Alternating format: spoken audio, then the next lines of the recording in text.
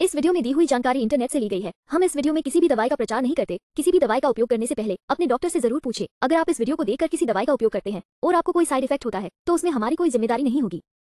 खादी, शुद्ध हर्बल नीम, tea tree और तुलसी hair oil सूखे और बेजान बालों की देखभाल के लिए तैयार किया गया है।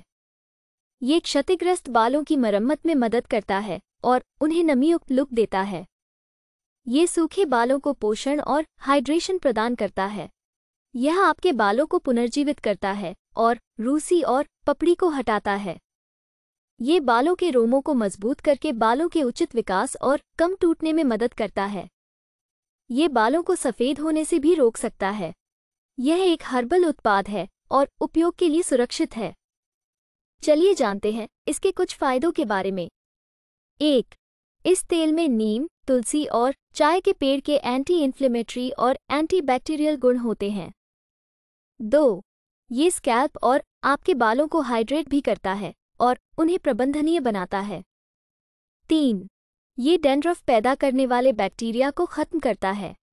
चार, ये रोम छिद्रों को मज़बूत करता है और बालों के विकास को बढ़ावा देता है। पाँच, ये फ्री रेडिकल्स को हटाने में मदद करता है। छह, यह आपके बालों की मात्रा में सुधार करता है और स्वस्थ चमक प्रदान करता है।